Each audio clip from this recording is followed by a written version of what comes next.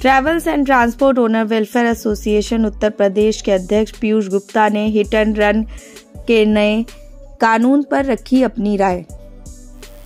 Sir, ये जो कानून आया है, भारत सरकार की तरफ़ से कि एक्सीडेंट जो करेगा, सात लाख और दस साल की जेल, इसको लेकर ट्रांसपोर्ट और व्यापारियों में बहुत ज़्यादा आक्रोश है। कल चक्का जाम करने की बात कर रहे हैं। और जैसा कि देखा जा रहा है, सारे ट्रांसपोर्ट बंद हैं, आवाजाही बंद है पूरे भारत में। तो उसको आप कैसे देखते हैं और क्या कुछ कहना चाहेंगे? देखिए travel and transport owners welfare association के माध्यम से हम ये कहना चाहेंगे, जो हमारे भारतवर्ष के जो गृह मंत्री जी का स्टेटमेंट अभी अभी आया है कि हिट एंड रन जैसा कि वीडियो के आधार पर मैं अपनी बात आप तक रख रहा हूँ हिट एंड रन के कारण अगर कोई एक्सीडेंट होता है और ड्राइवर उसमें दोषी पाया जाता है, उसको दस लाख दस साल की सज़ा होगी और सात लाख रुपए उसे कंपनसेट देना होगा। इसमें देखिए, दो, तीन कई तरीके के कन्फ्यूजन्स आ रहे हैं। हमारे पास आज उत्तराखंड से भी एक पत्र आया है कि इसको हिट एंड रन ना समझे, इसको ड्रिंक एंड ड्राइव ड्राइव समझे।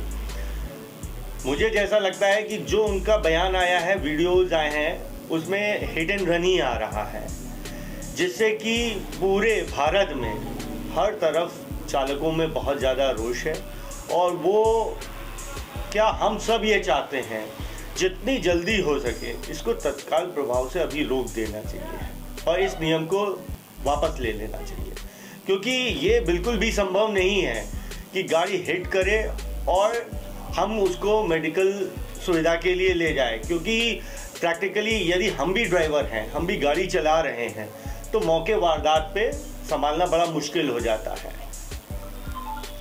तो सर अगर ये मांगे नहीं पूरी होती हैं आप लोगों की तो कब तक ऐसे ही चलेगा? देखिए अभी तक तो जो पूरे भारत में बंद का आह्वान हुआ था एक तारीख से तीन तारीख तक था।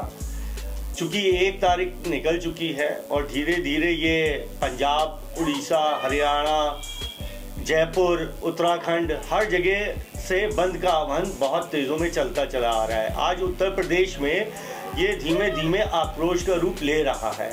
हमारा भारत के प्रधानमंत्री और उत्तर प्रदेश के मुख्यमंत्री जी से ये निवेदन है कि आप जितनी जल्दी हो सके, आप प्रेस के माध्यम से या वीडियो के माध्यम से या सोशल मीडिया के माध्यम से आप इस नियम को अभी फ़िलहाल तुरंत तत्काल प्रभाव से रोक दे, क्योंकि हम एक चीज़ को हमेशा से महसूस कर रहे हैं और ये बताना भी चाह रहे हैं पूरे भारत सरकार को कि ये जो निर्णय इन्होंने लिया है, ऐसा प्रतीत हो रहा है कि उन्होंने ये निर्णय आपस में अपनी कौन सी बैठक करके लिया है, इसका हम लोगों को बिल्कुल भी संज्ञान नहीं है।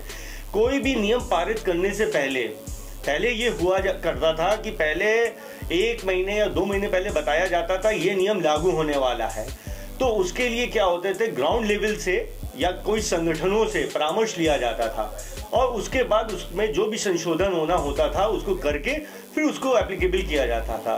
बट मुझे ये नहीं मालूम है कि हमारे माननीय गृह मंत्री जी ने इसको एकदम से लागू कर दिया है, जिस कारण बहुत तेज़ों में रोष आ रहा है ड्राइवरों के ऊपर। तो देखिए, हमारा भारत ही नहीं all over world driver driver के बदौलत चलता है, अर्थव्यवस्था उसी के माध्यम से चलती है। यदि इसको जल्दी से जल्दी वापस नहीं लिया जाएगा तो धीरे धीरे अभी आज तो पेट्रोल हमें मिलना बड़ा मुश्किल होता चला जा रहा है। पेट्रोल टंकी में लंबी लंबी लाइन है। धीरे धीरे इसका असर सभी चीज़ों पे आना शुरू हो जाएगा। तो मेरा बस यही निवेदन है कि इसको फ़िलहाल अभी रोक लगा देनी चाहिए। चैनल देश न्यूज़ को बेल आइकन दबाकर सब्सक्राइब लाइक और शेयर ज़रूर करें।